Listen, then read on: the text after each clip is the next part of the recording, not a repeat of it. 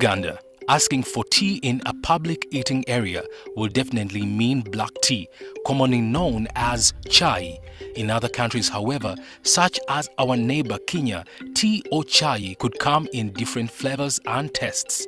This is because Kenya produces high tons of different tea varieties for export. Tea is the next popular beverage around the world next to water. Coming up on Seeds of Gold. All these CC are, um, are products that have been made to meet consumer expectations. Um, Purple was developed by the Tea Research Institute uh, of Kenya um, and bred, it is, first of all, it's purple in color. That's the first thing you see. Um, it grows in the same conditions as other types of teas.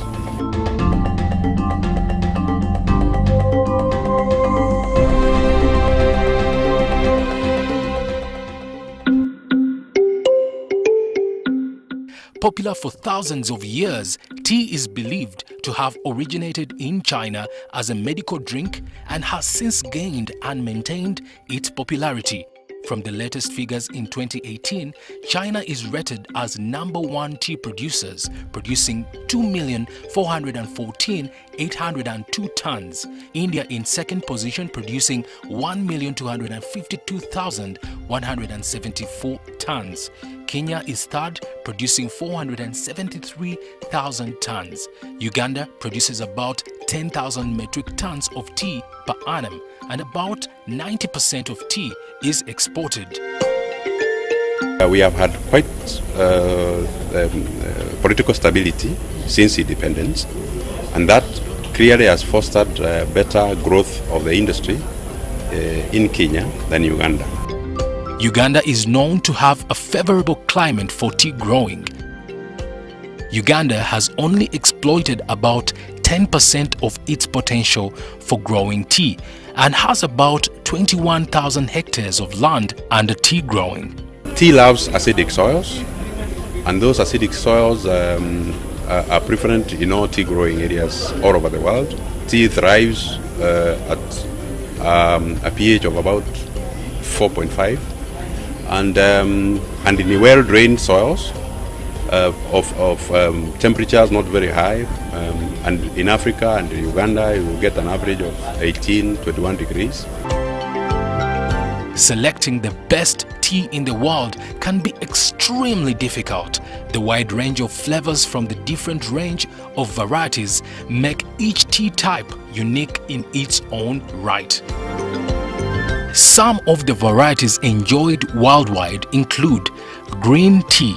It is considered one of the healthiest teas in the world thanks to its high concentration of antioxidants.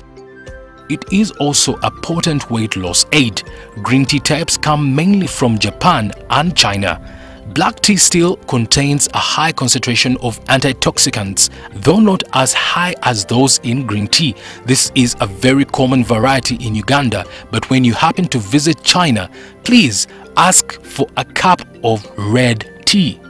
White tea, rooibos, Moroccan mint tea, famous in Morocco and consumed as the country's tea culture.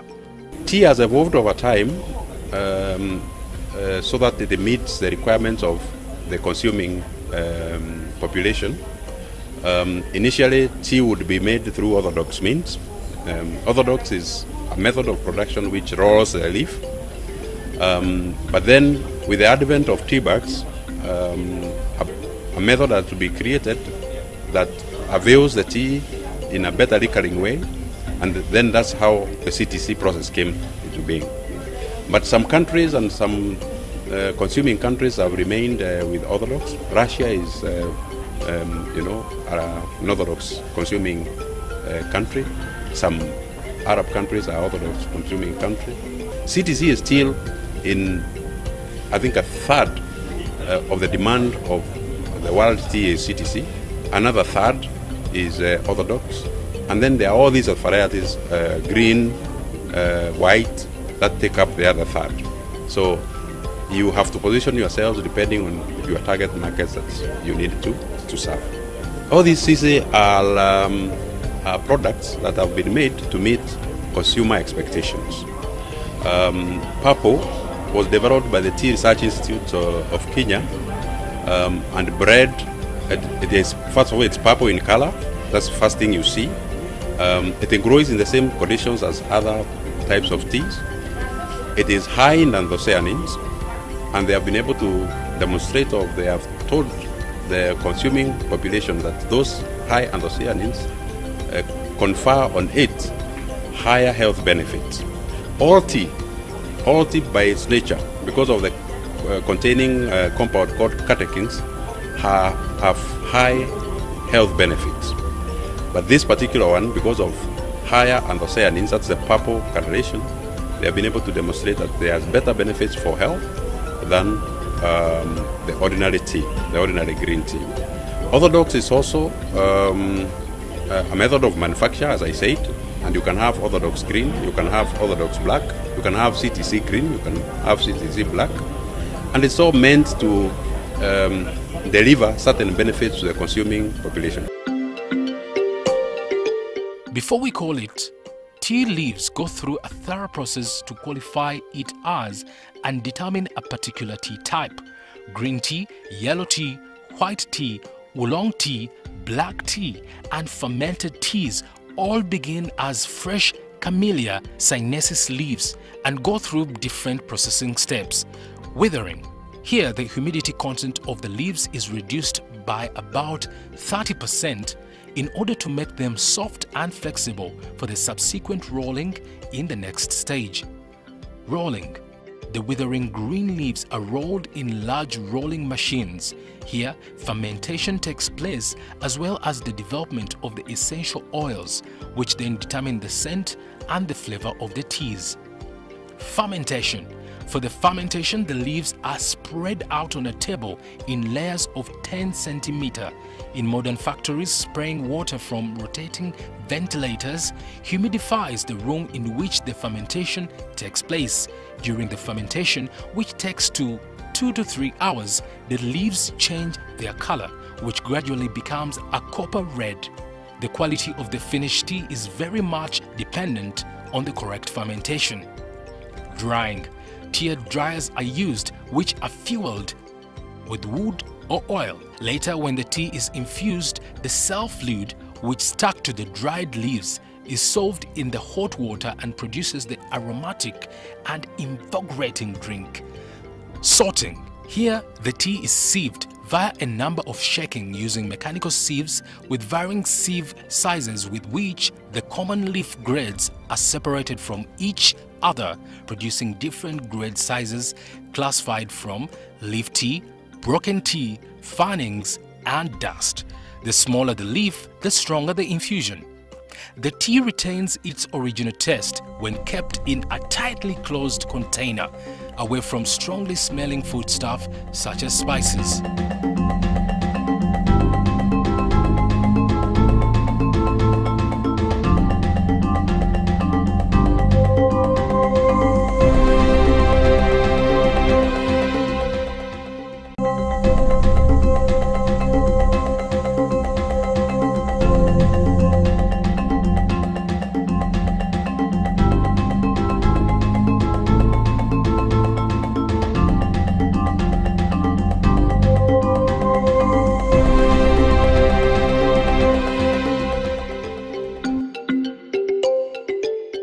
Planting tea in the main garden, tea seedlings are first planted in a nursery bed where they are well cared for. This will later give the trees a better resistance to diseases while in the main garden. As part of its mandate, Bukoola Chemical Industries gives farmers more information on how to maintain a healthy nursery bed. The nursery must be constructed in such a way that it runs from uh, south to north, such that the sun runs across uh, that nursery bed. It is usually supposed to be lifted a bit and that's the essence of calling it a bed, such that it has a very fine depth of soil which enable the tiny seedling uh, to establish roots and be able to grow perfectly well. So a, a good nursery bed can run uh, wide or width about 4 feet and it can go as long as anywhere between 8 to 12 feet. That enables uh, a farmer to work from one side and to the other without necessarily stepping into the garden. For example, if you're picking the weeds or if you're spraying. Uh, construct a shed right above the nursery such that when you lift the straw off the bed, it is placed on top of the created uh, or the raised uh, shed. That is meant to ensure that these seedlings do not get direct sunlight, which in most cases comes with heat, that could drive high rates of uh, transpiration, causing the seedlings to dry. Um, seedlings respond very fast and very well to foliar fertilizers because these are absorbed straight away from, uh, from, the, uh, from the leaves and they go right into the plant system and they're able to already deliver their function. So one of the fertilizers that does perfectly well is a combination of NPK and micronutrients in a fertilizer we call Super Green. It does a very good job, gives you a very good green color which enhances the photosynthetic activity and enabling your uh, seedlings to grow very fast. Remember, you only have about 30 days. So with the super green, you're very sure that your crop will grow very well in the nursery. When you are preparing to transplant your uh, seedlings, we start a process of hardening off. Hardening off is that process where we reduce the too much care you've been giving to your nursery seedlings. Uh, you reduce the shading, uh, and that is gradually. You don't take off, the, remember the shade we constructed up? You don't take it off at once. So you keep reducing uh, the shading to allow in light and to allow a bit of heat to accumulate such that the seedlings get used to the conditions that are in the main garden. And then you also reduce the frequency of watering. If you are watering once a day, then probably you could skip a day or two such that the crop gets used to the situation in the field where it will not be getting water on a daily basis. So that is the hardening process. By the end of that, then your seedlings are probably ready to transplant. Remember, you do not, you, know, you don't transplant seedlings that are too old or you do not transplant seedlings that are still way too young. Either way, you lose. Make sure that you transplant only healthy and strong seedlings which have been hardened off and have been growing for a minimum of 30 days. Tea processing in Uganda is still not as developed as in other countries like Kenya, hence the low production. However, there is potential for the industry to grow and as such, stakeholders in the business have come together from different countries in a three-day exhibition to offer possible solutions to the challenges facing quality tea production in Uganda. Some of the challenges that the tea industry is still facing include lack of modern technology used in tea processing for Ugandan agribusiness farmers, inadequate information about tea growing and processing, challenges with hydropower and the environment which can easily be handled by the use of solar power systems, packing technologies and of course market accessibility for Uganda's tea. We know that for any industry, energy is the basic need. So we are providing the solutions in the energy sector one of our flagship product is a steam boiler and where we can provide the cost effective solution to the industry by using the different different fuels such as the biomass solid fuel. The biomass can include the agricultural waste such as bagasse from the sugar industry rice husk and uh, briquettes. These are all many options we are available with which can be a green energy to convert the uh, to generate the steam for the boiler which is utilized in the industry. Along with that we are also doing the value additions with the steam boiler by integrating it with the another product called as a helix so which is also generating the power by using the same steam in the industry.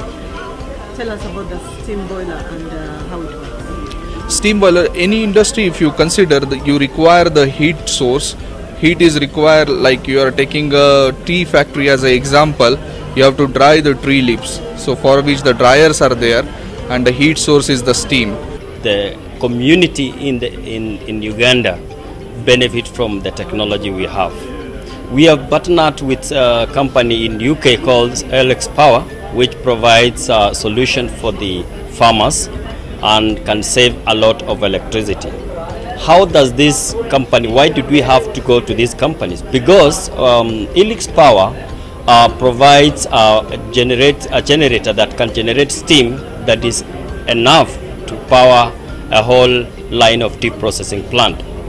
And how will this thing benefit the farmers? Umeme in Uganda uh, supplies power to the factories in Uganda.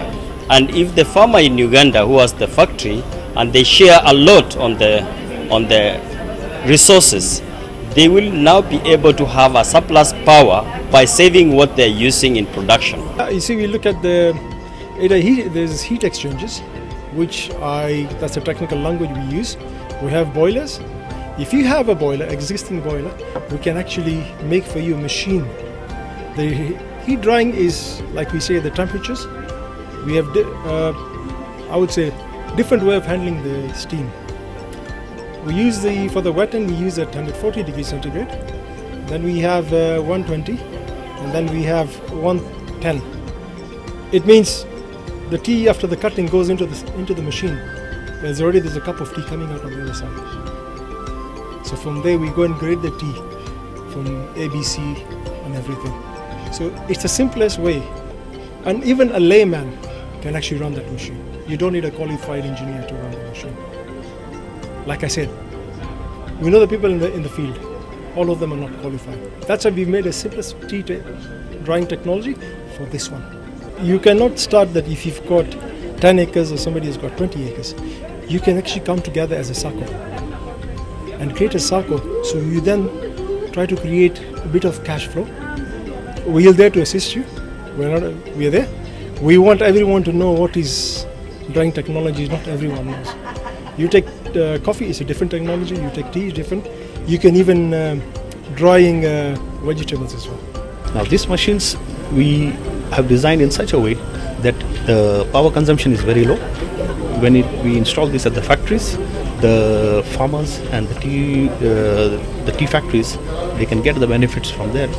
They are very low on fuel, on uh, power consumption, and uh, when it comes to as the the main heat exchangers we used on the dryers on these ones they they use wood most of the factories they are using wood for firing the boilers where we get the steam which you can see from here and uh, wherever we have supplied these factories it's uh, benefiting the farmers as you have put one factory now and after some time you benefit from the once you start you know selling the tea then they go to the next line depending on the production after processing, tea should be stored in a cool, dry place away from moisture. Special tea packaging materials such as tea bags or paper foils are used for this purpose. For the market, different tea producers use different packaging styles to meet the needs of the desired clientele. Our focus at this exhibition is tea bagging machinery. Tea packaging is uh, a value addition you know, for the uh, for the tea farmers to upgrade their products. Uh, and this also relates in employment in the country where the tea is grown, like in Uganda or Kenya, Tanzania, the neighboring countries. And then they have the possibility to uh, sell it to the local supermarkets, to the markets, and um, also export finished products and uh, receive a much higher price than just by selling raw tea. Then what he needs to do, uh, he needs to uh, first dry the tea, then cut it accordingly, and then uh, he is able then to package it. But he needs certain materials to do that besides the tea bag machine, which is, uh, we, if we look here, we have the filter paper, we have a thread and a tag. So these things need to be added and uh, he puts the tea into the tea bag machine and the materials and out comes the tea bag which is then put into a carton box or uh, can be taken out as a single piece or can be also put into a pouch depending on the market. The key issue here is actually the filter paper and the filter paper is not a normal paper it is a biological paper it's um, abaca from the abaca tree and the special part of the paper is it's got a infusion it's got very good infusion properties, so natural properties, and gives a good infusion. That means you, when you put the tea bag inside the teacup with hot water, it should infuse from two to five minutes, depending on the type of tea you have. But then there are also possibilities to overwrap these into individual envelopes. There is a paper envelope which is quite popular, which can be then printed with a logo or different uh, pictures. The other one, to go a little on the higher side, is the with heat seat heat seal envelope paper, which is made out of OPP. So you can get they get a more glossy finish. This is uh, used in little upmarket uh, when you have a very good high quality of tea, or you use it as a flavor barrier, where you have black tea with different flavors. Very popular is black tea with lemon, for example, or uh, if in Europe they have peppermint, also here there it's a very smelly product so then you have this as a barrier and it can be it's very hygienic because it's nicely wrapped so nobody is tampering with the product so you have a very clean and excellent looking uh, product which you then submerge into the teacup in uganda um, um, most of the companies in uganda who are doing tea bag packaging have our machinery we are setting up now a technician in Mombasa who can come at short notice to Uganda and uh, um, service the machines if they are required. As it may be for the most crops, tea prices keep fluctuating on the world market. Prices fell 2.31 US dollars per kilogram in December 2018 to 2.13 USD per kilogram in March 2019 However, currently prices seem to have risen to 2.4 USD dollars per kilogram per month on the world market. Um, currently, CC, we, especially this year, we are in a depressed situation because world production has um, galloped much faster than demand. Um, demand is growing at 3% per annum, while production is growing at between 4.5 to 5%. So the, that has caused some pressure on prices, with production being around uh, 5.8 billion kilos of tea worldwide, um, uh, sorry, demand, and uh, uh production being over 6 billion. There is about 200 million kilos excess teas available in the market, uh, which are causing the prices to be depressed. My encouragement to the farmers, please continue growing good teas. Quality is um, is will count, uh, make tea of high quality that uh, farm, I mean, pro producers all over the world, or buyers or consumers all over the world will discern more than the other type of tea. With Uganda being a potential producer for quality tea in East Africa, the industry is still dominated by a few tea producing private companies. This accounts for only 10% of the tea production potential for the country as the government and international stakeholders take interest in supporting the local tea farmers and producers, the future looks bright for the Ugandan tea industry.